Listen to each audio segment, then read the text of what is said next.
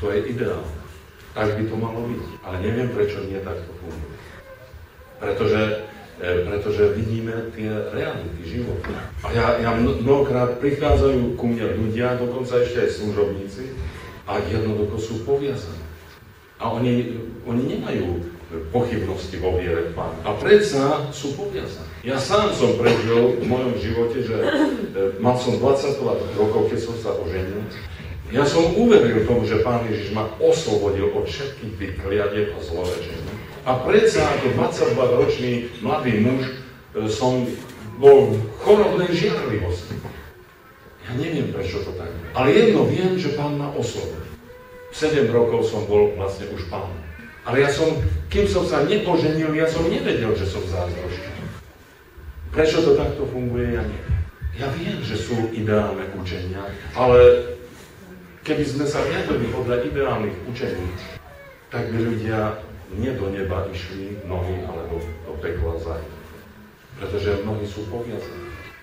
A mnohokrát vidíme aj e, starých služobníkov, to, ktorí sú poviazaní, ktorí majú duchovnú žiarlivosť a, a podobné veci.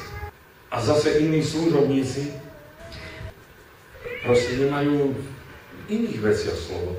A práve preto nás Pán Ježiš učí, aby sme bdeli a modlili, aby sme nevošli do pokuša. Keď Pán Ježiš vyženie von toho zlého, hovorí, dajte pozor, lebo sa so siedmými horšími môže vrať. A potom tu nepomáhajú učenie. Tu pomôže len oslobodenie tých ľudí. Teda ja viem, že, že ideálne by ako to malo fungovať. A koľkokrát, koľkokrát tí ľudia sú na rôzny spôsob ešte poviazaní. Veľmi veľa je toho. To, to sa nedá, to, to by som musel množstvo, množstvo skúseností potom hovoriť. A prichádzajú ľudia, veriaci, ktorí sú poviazaní. A nemali by byť. Ale keď sú, tak čo s nimi? Viete, viete čo, chodte domov, nenevajte sa, vy by ste nemali byť zviazaní proste. E, tak čo urobíme? Tak ich roz, rozviažeme. A slúžime im oslobodím.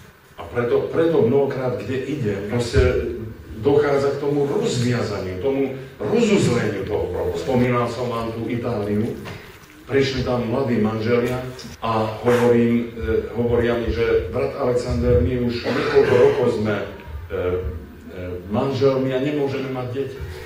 Obrátil som sa k tej mladej žene a hovorím, aký máš vzťah so svokrovcami? A hovorí, oni, oni ma neprijali, oni zlorečia. A hovorím, vieš čo, choď kúp kyticu a povedz, a povedz im nič iné, len toľko im povedz, ja vás milujem. A potom uvidíš, čo sa bude diať. Prišiel som o rok a už na ruke mi niesli ukázať malého. A już um, pokazywali mi na ręce, jak nieśli swoje dziecko.